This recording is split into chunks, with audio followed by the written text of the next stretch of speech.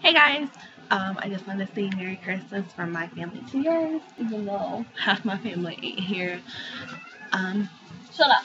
my dad and stepmom are still in the hospital. I'm gonna go see him tomorrow because I need to get some like training done before he can come home.